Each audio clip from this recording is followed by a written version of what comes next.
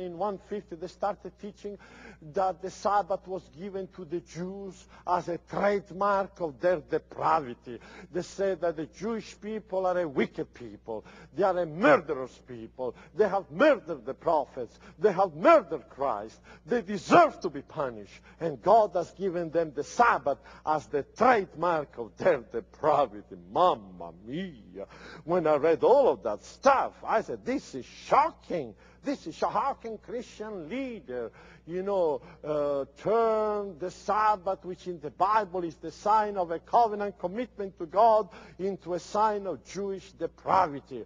This tells us how many times theologian, to be politically correct, will develop a theology to justify political action. This was done in America last century with slavery.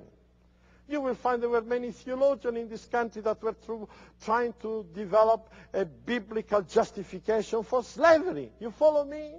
This is why I like to challenge all of us that we must be biblically correct, not politically correct. Because to be politically correct, many times it means to compromise our biblical principle. Well, what did the Church of Rome do? When the Sabbath was outlawed, when observing the Sabbath was a risky business, you know what he did? He took three measures. Number one, theological measures. Theologically, as I explained to you just a moment ago, the Sabbath was uh, reduced to a Mosaic institution given exclusively to the Jews as a trademark of their depravity.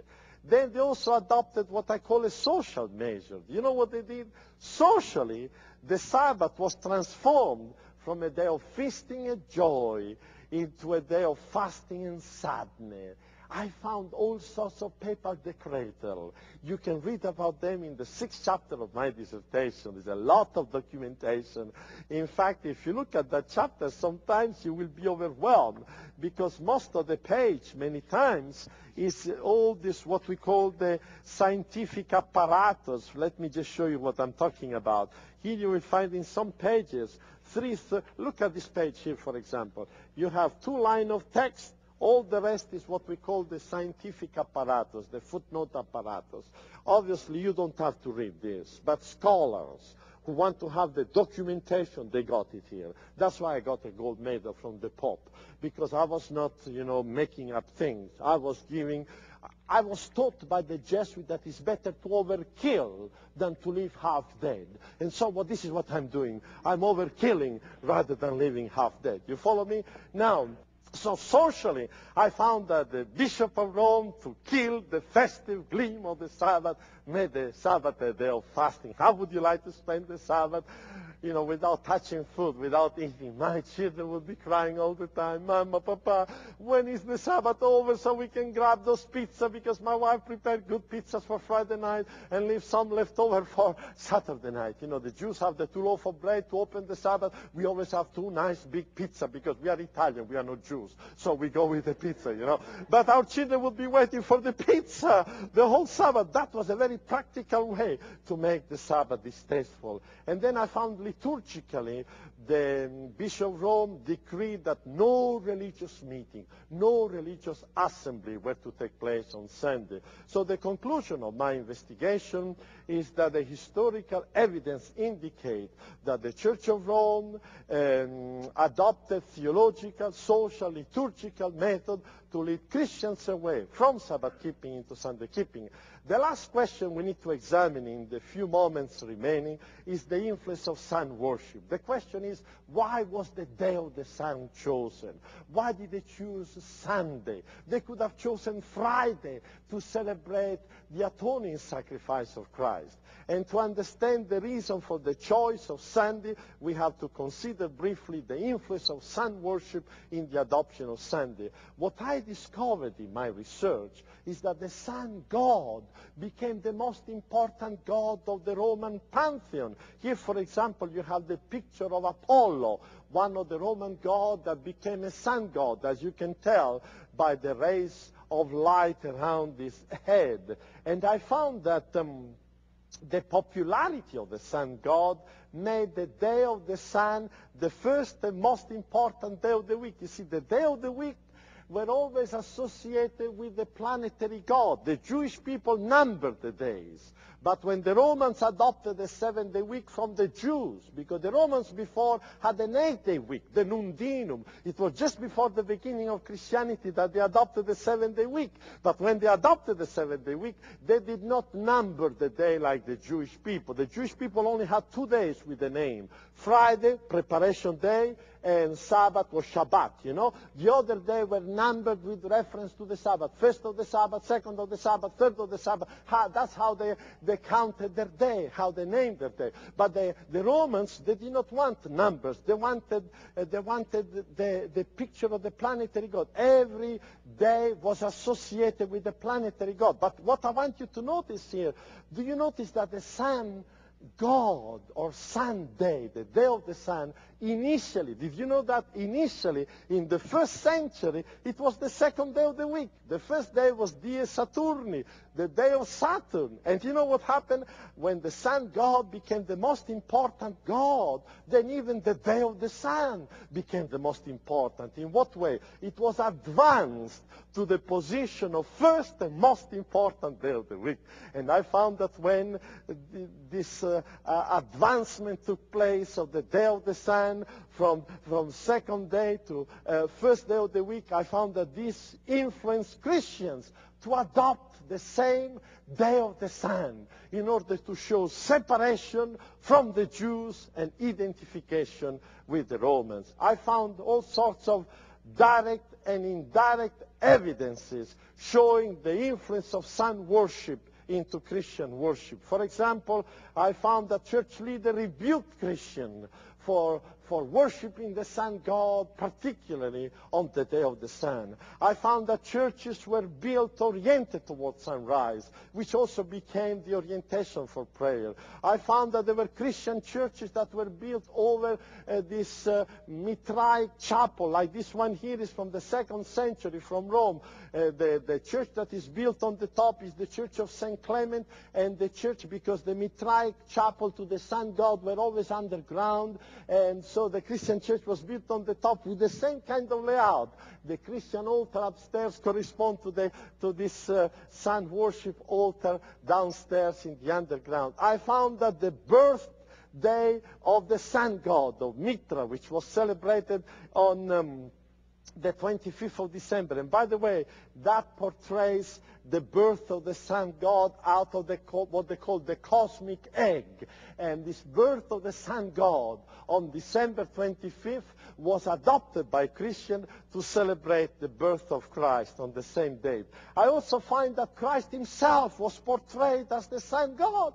You know, this is the earliest mosaic uh, representing Christ, uh, let me put it differently, is the earliest pictorial representation of Christ that has come down to us from early Christian antiquity. I made a trip to Rome to get a good shot of this picture. It is taken from the Vatican, uh, uh, from the Vatican uh, excavation there in St. Peter of the Confession of St. Peter. It's a mausoleum, a Christian funerary chapel where Christ is portrayed as a sun god. If you look, it has the, the shaft of life, a halo. There are two horses. This, uh, the other two horses were damaged by the excavation.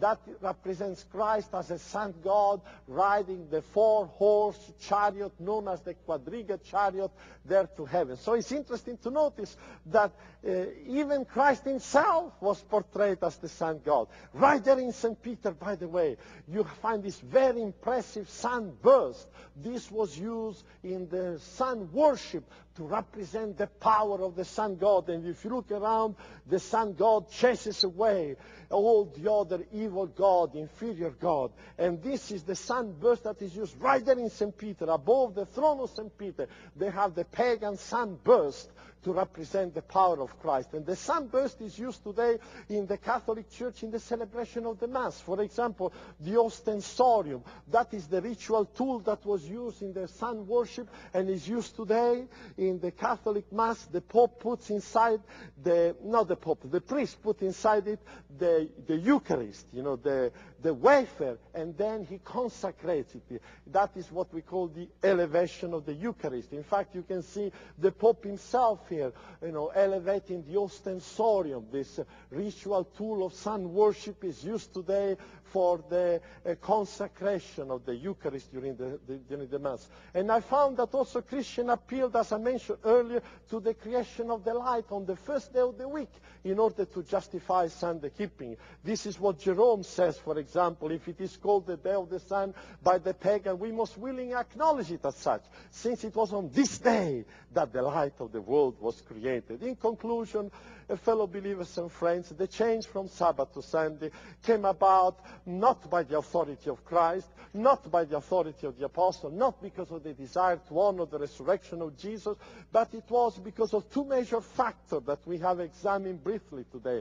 Anti-Judaism influenced the abandonment of the Sabbath, and pagan sun worship influenced the adoption of Sunday. In other words, the reason was expediency. It was not a divine commandment. It was not commitment to the teaching of Jesus. But Jesus never said that if it becomes difficult to observe one of my commandments, please change it. Please change it. Don't suffer for it. Now, the implication is that the change from Sabbath to Sunday was not just a change of names, a change of number, but a change of authority, a change of experience, a change of meaning.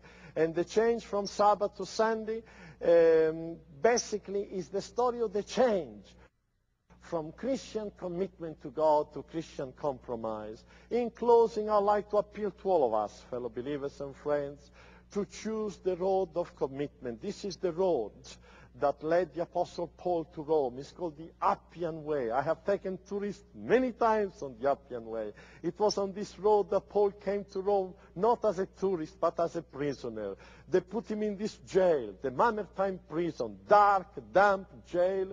The food was thrown from the ceiling. There is the iron door which they opened when the prisoner died. They didn't even bother to bring them out. They just dumped them in the sewage system of the city. And it was on this jail that Paul languished the last year of his life. It was from this jail that he wrote some of his prison epistles. And I would like to appeal to you to read with me this morning those words that were penned from this Roman prison where Paul says, the time I'm already on the point of being sacrificed. The time of my departure has come. I have fought the good fight. I have finished the race. I have kept the faith. Many things he couldn't keep. He couldn't keep his coat. He couldn't keep his book. But Paul kept his faith. And my plea for all of us this morning, that we may follow Paul in the commitment to the Lord Jesus Christ by keeping our faith. And the Sabbath has been given to us to nourish our faith, to strengthen our faith, to show in a concrete, tangible way that we love the Lord by taking time on his holy day to honor him in a special way. May the Sabbath truly become for us the day when we stop our work to allow the Savior to work in us more fully, more freely. The day when we experience the awareness of the presence, peace, and rest of Christ in our lives. This is my prayer for each one of us this morning. Let us pray. Thank you, God, for giving us the opportunity today to re-examine the historical process that led to the change in thy holy Sabbath day. We have noticed that basically it was expediency, it was compromise, and I would pray for all of us this morning that we may follow the example of Paul, who chose to lay down his life, who chose to go to Rome as a prisoner, who chose to be sacrificed rather than sacrifice the principle that thou hast revealed. May the Sabbath become for us indeed the, the badge, the sign of our commitment to God.